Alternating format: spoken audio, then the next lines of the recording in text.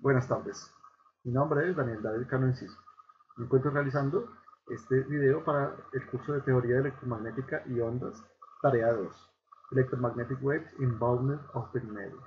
El ejercicio propuesto en esta ocasión nos muestra cómo un rayo atraviesa una capa de hielo, luego atraviesa una capa de aire y luego una capa de vidrio. Lo que nos están pidiendo es que analicemos cuál es la distancia eh, de esta parte de desde que atraviesa el aire y atraviesa el vidrio. Para ello, debemos utilizar la ley de Snell. Para ello debemos calcular paso a paso los ángulos y las distancias que debe atravesar el rayo. Inicialmente analizaremos los datos que tenemos.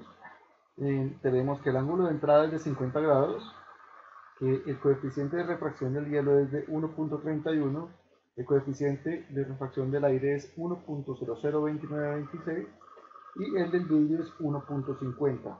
También nos indican que el, el ancho de cada una de las capas es de 0.614 metros. Vemos ahora cómo se relaciona por la ley de Snell eh, los índices de refracción y los ángulos, o más bien los senos de los ángulos de entrada y de salida. Lo primero que hallaremos eh, es el índice de refracción en el punto B. Para ello, y mediante la ley de Snell, vamos a ver cómo el ángulo de refracción es igual al arcoseno de eh, el índice de refracción del hielo sobre el índice de refracción del aire, seno del ángulo. Esto nos da como resultado un ángulo de 57.33 grados.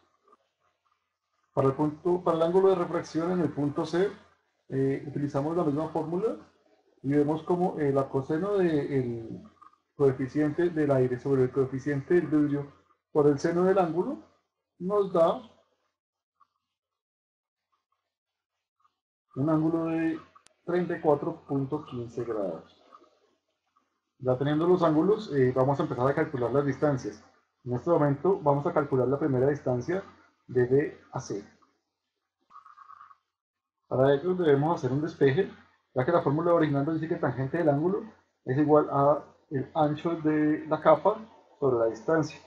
Entonces realizamos el despeje de la distancia y nos queda que el ancho de la capa sobre tangente del ángulo, que en este caso sería 57.33, nos da 0.393 eh, metros.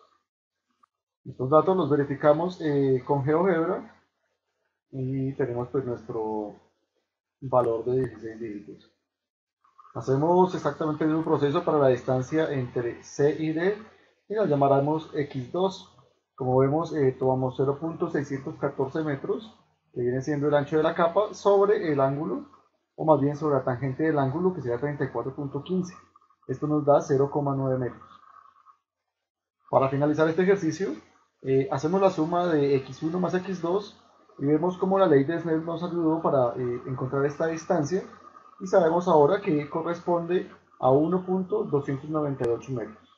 Volviendo a nuestra gráfica vemos que de este punto a este punto eh, se encuentra el 1 metro punto 298.